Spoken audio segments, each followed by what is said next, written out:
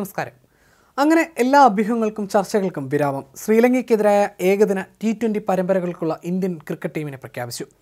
രോഹിത് ശർമ്മ ഏകദിന ടീമിനെ നയിക്കുമ്പോൾ T twenty ടീമിന്റെ നായകനായി സൂര്യകുമാർ യാദവിനെ തിരഞ്ഞെടുത്തു.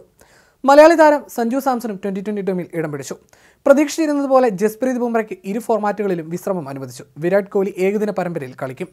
രോഹിത് ശർമ്മ വിരമിച്ച സാഹചര്യത്തിലാണ് ട്വന്റി ട്വന്റി ടീമിന്റെ നായകനായി സൂര്യകുമാർ യാദവിന്റെ വരവ്. രണ്ട് ഫോർമാറ്റുകളിലും ഹാർദിക് പാണ്ഡ്യ വൈസ് ക്യാപ്റ്റൻ സ്ഥാനത്ത് നിന്ന് നീക്കി എന്നതാണ് ശ്രദ്ധേയമായ മറ്റൊരു മാറ്റം. യുവതാരം ശുഭ്മാൻ ഗിൽ ആണ് ഏകദിന ട്വന്റി ട്വന്റി ടീമുകളിൽ ഇന്ത്യയുടെ പുതിയ ഉപനായകൻ. അടുത്തിടെ സിംബാബ്വേയിൽ പര്യടനം നടത്തിയ യുവനിരെ ഗില്ലാണ് നയിച്ചത്. വ്യക്തിപരമായ കാരണങ്ങളാൽ ഏകദിന പരമ്പരയിൽ നിന്ന് വിട്ടുനിൽക്കുമെന്ന അഭ്യൂഹങ്ങൾ ഉണ്ടായിരുന്ന ഹാർദിക് പാണ്ഡ്യയും ട്വന്റി ട്വന്റി ടീമിൽ മാത്രമേ ഉള്ളൂ ഏകദിന പരമ്പരയിൽ കളിക്കില്ലെന്ന് കരുതിയിരുന്ന രോഹിത് ശർമ്മ നിയുക്ത പരിശീലകൻ ഗൗതം ഗംഭീറിന്റെ നിർബന്ധത്തെ തുടർന്നാണ് കളിക്കാൻ തയ്യാറായത്.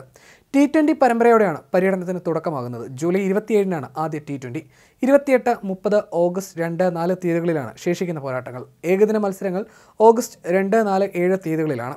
ശ്രീലങ്കൻ പര്യടനത്തിനുള്ള ഇന്ത്യൻ ട്വന്റി ട്വന്റി ടീം ഇങ്ങനെയാണ്. സൂര്യകുമാർ യാദവ് ശുഭ്മാൻ ഗിൽ യശുസി ജയ്സ്വാൾ റിങ്കു സിംഗ് റിയാൻ പ്രാഗ് ഋഷഭ് പന്ത് സഞ്ജു സാംസൺ ഹാർദിക് പാണ്ഡ്യ ശിവൻ ദുബൈ അക്ഷർ പട്ടേൽ വാഷിംഗ്ടൺ സുന്ദർ രവി ബിഷ്ണോയ് അർഷദീപ് സിംഗ് ഖലീൽ അഹമ്മദ് മുഹമ്മദ് സിറാജ് എന്നിവരാണ്. ശ്രീലങ്കൻ പര്യടനത്തിനുള്ള ഏകദിന ടീം ഇങ്ങനെയാണ്. Rohit Sharma Shubman Gill Virat Kohli K L Rahul Rishabh Pant Shreyas Iyer Shivam Dube Kuldeep Yadav Mohammed Siraj Washington Sundar Arshdeep Singh Riyan Parag Axar Patel Khaleel Ahmed Harshit Rana എന്നിങ്ങനെയാണ്.